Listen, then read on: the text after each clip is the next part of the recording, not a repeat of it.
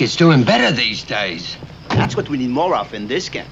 Colonel, you've probably heard one of these propaganda broadcasts before. Oh, yes, they're very delightful and stimulating. They have a tendency toward dullness. Dullness. Oh, yes, they're very monotonous. Yeah, we're looking for something to make this program just a little different. Mm-hmm, Is there anything in your background of special interest? Well, who am I to say?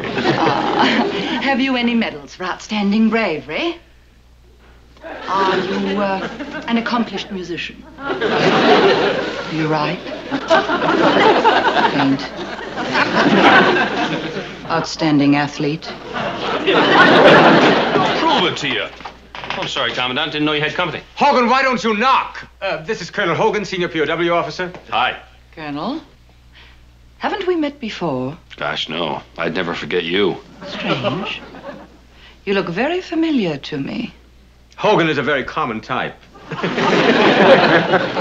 what do you want, Hogan? Carter and I were having an argument. I wanted to prove something to him, and I couldn't find my copy of Mein Kampf. I wonder if I could borrow yours. My copy? You do have a copy of Mein Kampf. Oh, oh, yes, of course. I wonder where I put it. I don't seem to remember. It is here, I know. Never mind, I'll do it from memory.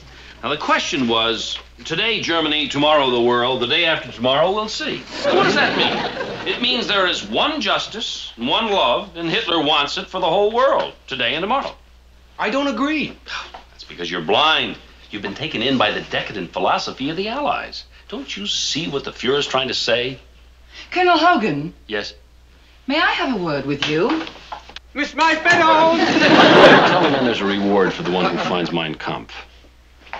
You seem to have very unusual ideas for an American prisoner of war. Well, I've had a chance to think and see since I've been here, and it's changed my ideas a lot. I uh, realized that the new Germany is the new world. If you feel that way, why not tell the world? Gosh, who'd care how I feel? I would. So would a lot of other people. You must share your thoughts with them. How can I do that? On the radio. Tonight. With me. Oh, I couldn't. Oh, you must. Is that an order? Yes. All right. Gosh, feel like a Nazi already.